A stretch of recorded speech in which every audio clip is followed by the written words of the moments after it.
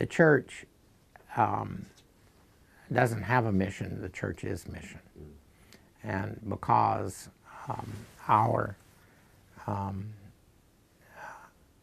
our fundamental being is based on the presumption that um, we are witnesses to um, a Christ who is known only through witnesses who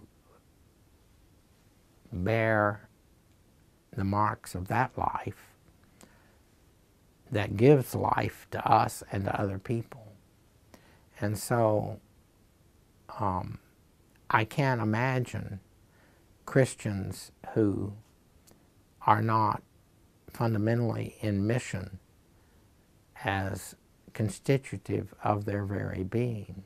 It is the task of Christians to embody the joy that comes from being made part of the body of Christ that should be infectious. When I taught the core course in Christian ethics uh, here, um, there'd be 200 in it.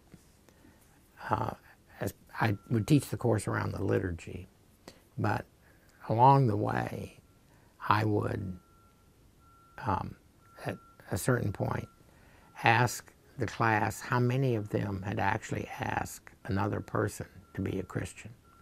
Not to come to church, but to follow Christ.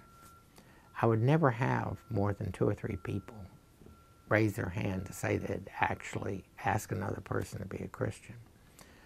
Well, that's sad.